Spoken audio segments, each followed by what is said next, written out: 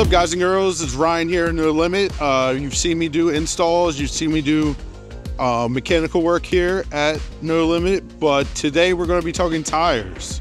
One of our bread and butter tires, the Falken AT3W. Uh, it's one of our favorite customer favorites. I run these on my Subaru, run them on my wife's 4Runner. Uh, my coworker Tony, he runs them on his 4Runner.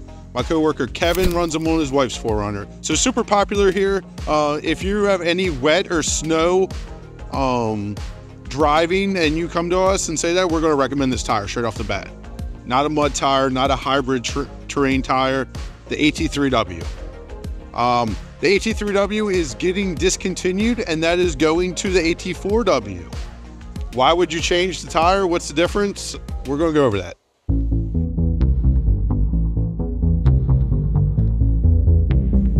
So looking at the AT3 tire, uh, big thing about it is three peak snow rated tire. So that's a, a huge plus.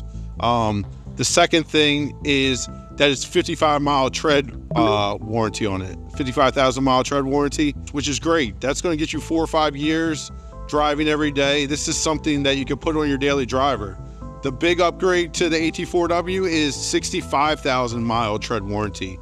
So that is basically they're predicting this tire will last you 60 to 65,000 miles if you rotate and air them up correctly. And I mean, 10,000 miles, I'll take that all day for the same price. So the big difference to the AT4W is, let's show you here, the sidewall. Much more aggressive lettering, uh, change in design around the bead area to eject water, debris, things like that.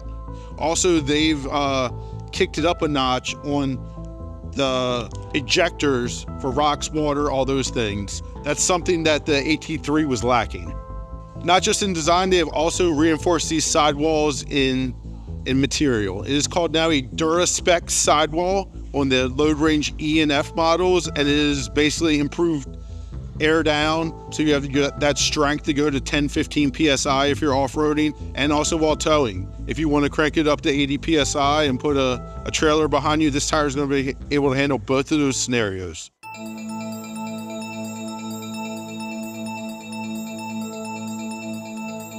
Lastly the last thing we want to talk about on these tires is the weight the weight is a big deal for people that don't want to increase their rolling mass too much, lose too many miles per gallon, things like that.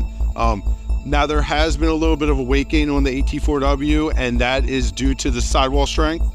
Um, to me, I'll gain two, three pounds and uh, be a little bit stronger. But uh, that's just my opinion. Uh, it's definitely worth the weight in gold, and it's a great tire to go with. And we're gonna that's gonna be our new recommended tire for the snow, the mud, all those type of things. So hit us up if you need a set, and I'll see you next time.